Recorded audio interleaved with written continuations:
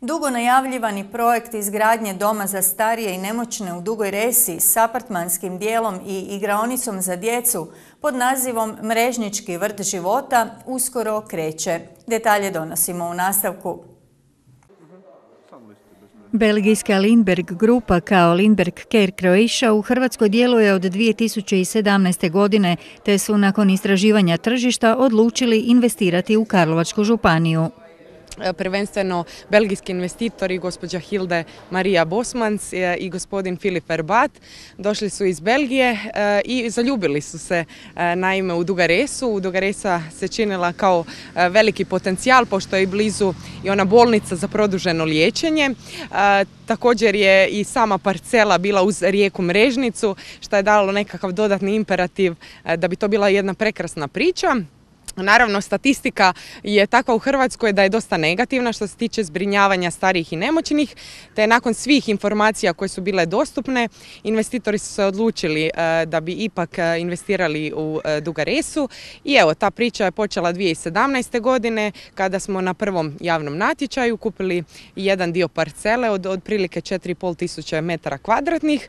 Plan se razvijao, vizija je rasla, pa je uz dom za starije i nemoćne uključen i dio s 27 apartmana i shvatili smo da nam nedostaje još zemlje, te smo putem drugog javnog natječaja kupili i parcelu do, tako da sad otprilike imamo 10.900 e, metara kvadratnih gdje imamo evo e, čast i zadovoljstvo uskoro krenuti sa radovima i naravno obistiniti sve ono što smo pričali cijelo ovo vrijeme.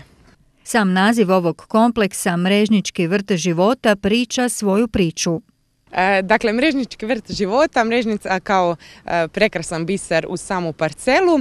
Vrt života, tu su tri e, grupacije životne uključene. Dakle, starima nudimo zbrinjavanje, odnosno smješta i brigu, srednjoj generaciji zapošljavanje, a djecu igru, pošto će tamo biti na parceli igraonica. Tako da je to jedan vrtlog života, tome smo težili i to je zapravo dosta popularno i u zapadnim zemljama. I evo imamo čast i priliku to napokon dopeljati u Lijepu našu, u Karlovačku županiju, odnosno u gradu Garesu.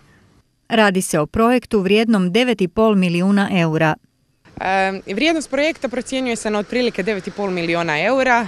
Naravno, projekt ovaj, iz mjeseca u mjesec dobiva na težini, pošto normalno je, cijene su se promijenile u građevinskom sektoru, pa od one ishodišne e, neke ideje 2017. godine poslovni plan se e, uveliko promijenio.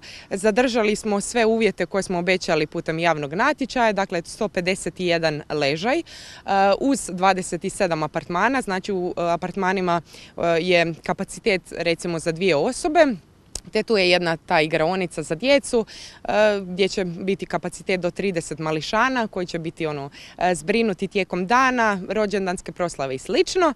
Do sada je Lindbergh Care Croatia uložila 7 milijuna kuna u projekte u Hrvatskoj znači ne samo u Dugaresi, već radimo i u Slavonskom brodu. Iako se to sada još ne vidi, cijeli tim radi, dakle imamo jedan tim u Belgiji i jedan tim uh, u Hrvatskoj. Oni surađuju u jednoj lijepoj simbiozi kako bi uh, najbolje uh, pročitali i zapravo najbolje primijenili znanje gospođe Hilde i gospodina Filipa u Dugaresi.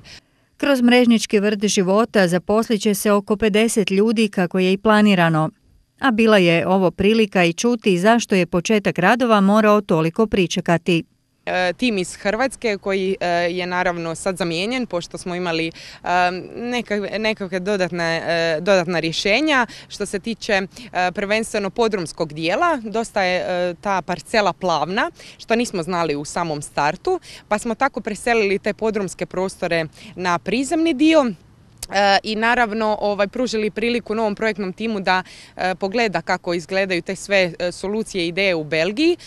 Početak radova predviđen je do kraja ove godine, a završetak do 2022. godine, a smatraju da će to biti i prije.